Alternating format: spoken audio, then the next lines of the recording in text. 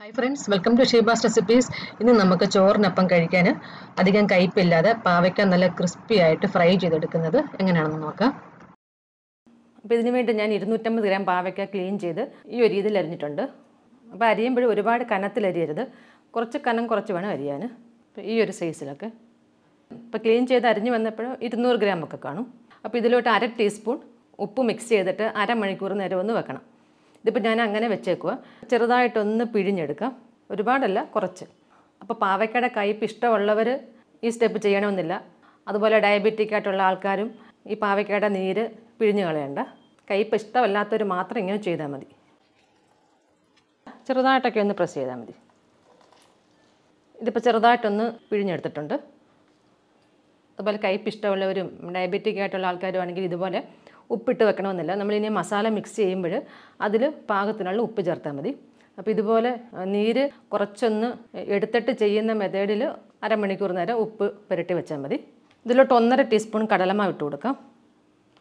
ഒരു ടീസ്പൂൺ അരിപ്പൊടി അര ടീസ്പൂൺ കോൺഫ്ലവർ ഒന്നര ടീസ്പൂൺ മുളക് പൊടി മുക്കാൽ ടീസ്പൂൺ മല്ലിപ്പൊടി കാൽ ടീസ്പൂൺ പെരുംജീരകം പൊടിച്ചത്. പിന്നെ വെളുത്തുള്ളി ചതച്ചതും കൂടി ഇട്ട് കൊടുക്കാം. ഞാനിപ്പോൾ മീഡിയം സൈസിൽ മൂന്നെണ്ണം എടുത്തിട്ടുണ്ട്. കുറച്ച് കറിവേപ്പില ചെറുതായിട്ട് അരിഞ്ഞത് ചെറിയൊരു ലെമണിന്റെ പകുതി മുറി. അതും കൂടി പിഴിഞ്ഞു കൊടുക്കുക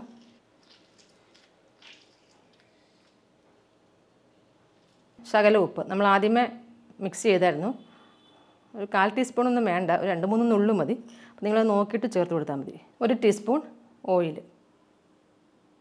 വെളിച്ചെണ്ണയോ എണ്ണയോ ഏതെങ്കിലും. ഇനി ഇതെല്ലാം കൂടെ നല്ലതായിട്ടൊന്ന് മിക്സ് ചെയ്യുക.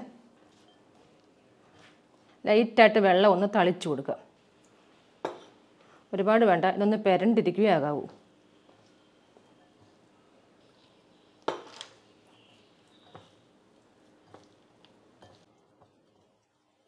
ഇതിപ്പോൾ ഈ ഒരു രീതിയിലൊന്ന് മിക്സ് ചെയ്തെടുത്തിട്ടുണ്ട്. ഇതുപോലൊക്കെ ഇരുന്നാൽ മതി. വെള്ളം പോലെ മിക്സ് ചെയ്യരുത്. ഇനി നമുക്കിതൊന്ന് ഫ്രൈ ചെയ്യാം. അപ്പോൾ ഞാൻ ഫ്രൈ ചെയ്യാൻ വേണ്ടി കുറച്ച് വെളിച്ചെണ്ണ ഒഴിച്ചിട്ടുണ്ട്. നല്ലതായിട്ട് ചൂടായിട്ടുണ്ട് ഇട്ട് കൊടുക്കാം എണ്ണയോ വെളിച്ചെണ്ണയോ ഏതായാലും മതി.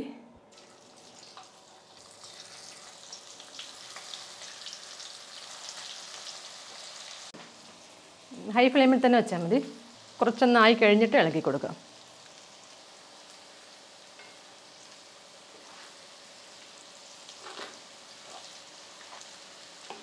അപ്പോൾ ഇതുപോലെ ഇടയ്ക്കിടയ്ക്ക് ഇങ്ങനെ ഇളക്കി കൊടുത്തുകൊണ്ടേയിരിക്കണം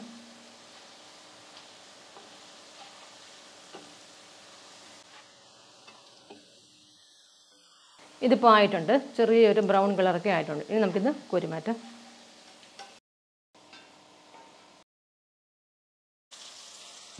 ചെറുതായിട്ടൊന്ന് നിറം മാറാൻ തുടങ്ങുമ്പോഴെടുക്കാം ഒരുപാടങ്ങ് ബ്രൗൺ ആക്കരുത്. അങ്ങനെയാണെങ്കിൽ കരിഞ്ഞ ടേസ്റ്റ് വരും. അപ്പോൾ ഇതായിട്ടുണ്ട്. എടുത്ത് മാറ്റാം.